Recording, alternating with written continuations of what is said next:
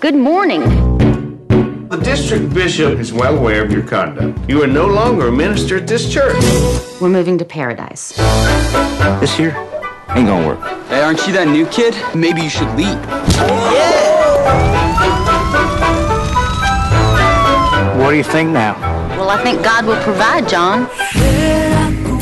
You're like a breath of fresh air. Man, you sing good, and I'd love for you to come sing at my church. We have today, and only today, to rebuild this church. Folks, we need a miracle.